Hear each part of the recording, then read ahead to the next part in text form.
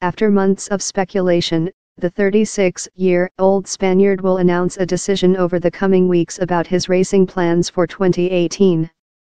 The question has centered on whether he will stay with McLaren or move to another team, but Alonso concedes that his fate may lie outside the sport if he cannot contend for race wins and championships. Formula One is still my priority, it's my life, and winning the World Championship is what I'm hoping, Alonso told News Totals the circuit. If I don't see any project that will allow me to fight for the win I will look outside F1, but that's, a decision I will make around, November-December. I will try all the possibilities before that.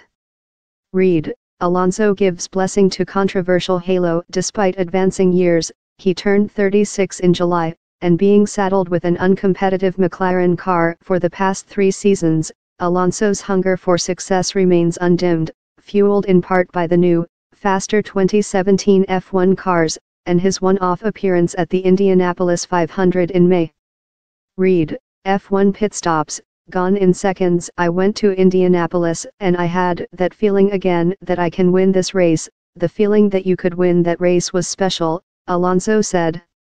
Given he had zero experience on oval tracks prior to entering the Indy 500, some drivers openly feared for Alonso's safety, Scott Dixon's horrific crash during the 2017 race graphically illustrated just how dangerous IndyCar can be. But Alonso, ever the racer, was focused on the victory.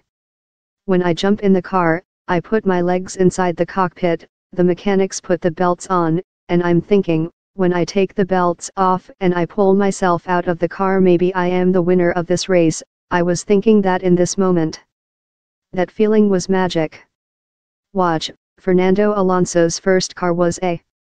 It wasn't to be, his race unraveled in all too familiar fashion with an engine blowout 21 laps from home, spoiling what was widely hailed as an hugely impressive IndyCar debut. The crowd's reaction not just to Alonso but all the drivers taking part also made a huge impact on the F1 star. I think it's a different culture, a different way of understanding motorsport or sport in general, much more open, much more friendly to all of us, he said. It's the kind of feeling that the sport is beyond nationalities. All of us there were heroes for all the people in the grandstand. They support all of us in the same way and they really enjoyed the race. In terms of places Alonso would rather be, IndyCar, he insists, isn't one of them right now, although he doesn't rule out another stateside adventure.